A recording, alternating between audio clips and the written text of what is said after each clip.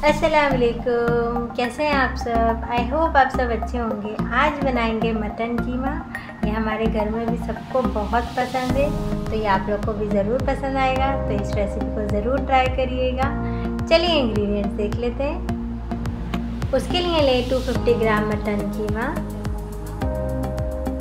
two medium size chopped onion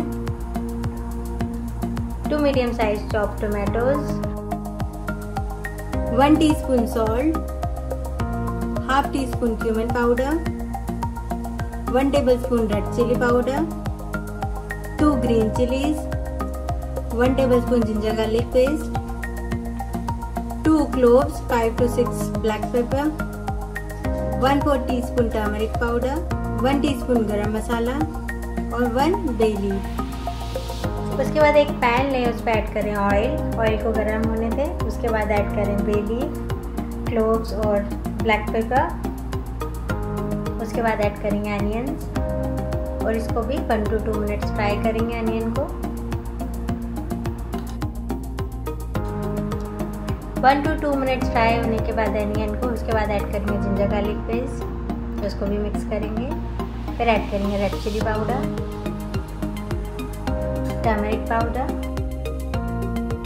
cumin powder salt और इन सबको भी one two two minute saute करेंगे इन सब स्पाइसेस को।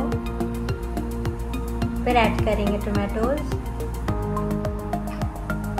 और इसको भी मिक्स करेंगे। और इसको भी टोमेटोज को थोड़ा कुक होने देंगे टू टू थ्री मिनट्स फिर ऐड करेंगे कीमा और इसको भी मिक्स करेंगे। अभी ईद आने वाली है तो आप लोग ये रेसिपी ज़रूर ट्राई करिएगा।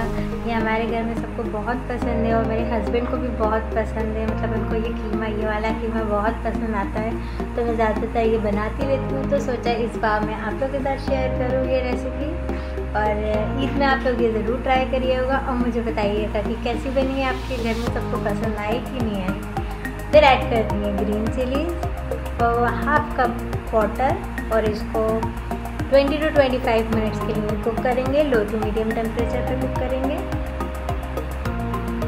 लेड लगा देते हैं। 25 मिनट्स हो गए हैं, देखते हैं कीमा कुक हुआ कि नहीं। ये देखिए एकदम परफेक्ट कुक हो गया है ये कीमा। और अब इस पर ऐड करेंगे गरम मसाला। ये लास्ट में ऐड करिएगा, इससे बहुत अच्छा टेस्ट आता है लास्ट में ऐड करने से। और फिर ऐड करेंगे फ्रेश कोरिएंडर लीव्स और ये कीमा बन के रेडी है। अब इसको सर्व करते हैं।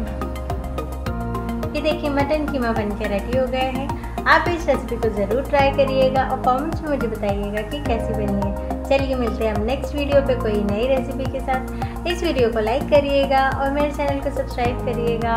Okay thanks for watching